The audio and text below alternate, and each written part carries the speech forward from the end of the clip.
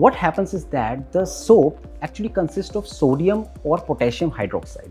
Now when this comes in your contact, in contact with the dirt and grease of your hands or oil of your hand, it forms a chemical composition around and forms a thing called micelle.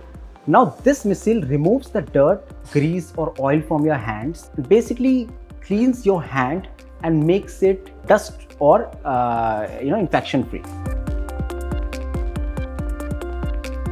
When it comes to doctors or the, any medical professional about their hand hygiene, we ensure that whenever we touch any part of the environment, any part of the hospital or anything, we use sanitizer for our hands.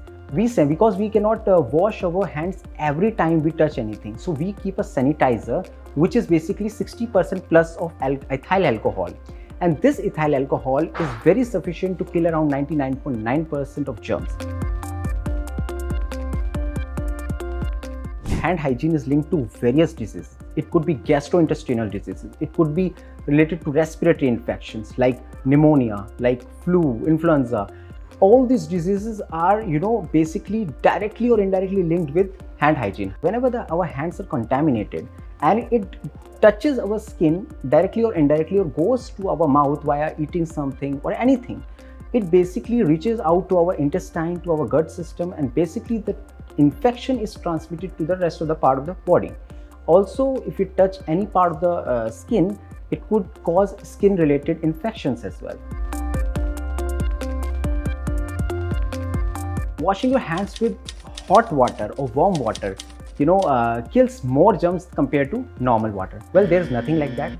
Basically the function of water is not to kill your hands and your germs.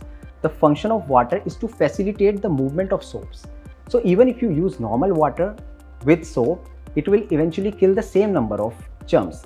Yes this is true that uh, you know uh, boiling temperature kills but you cannot use boiling temperature on your hands. So you need to be clear about this myth there's one more myth that because doctors uh, you know are working in a very sensitive environment so they need to wash their hands more. But this is not the complete truth. The people working in offices or any other environment apart from the hospital equally needs to take care of their hands their sanitation their hygiene. Germs are present in every environment that is hostile to them. Even the toilet seats or you know the seat uh, where you sit like uh, your workplace sit they're equally dirty in terms of germs. So there's one more myth regarding uh, you know these sanitizers you know are more efficient than soaps which is absolutely false. Basically we need to understand difference between a soap and a sanitizer. Sanitizer consists of ethyl alcohol or uh, alcohol which is uh, more than 60% which is effective. And when we talk about a soap it contains either potassium hydroxide or sodium hydroxide. Both have different compositions. Both have different rules Alcohol is definitely more efficient to kill germs, but soap is more important to remove the dirt from your hands.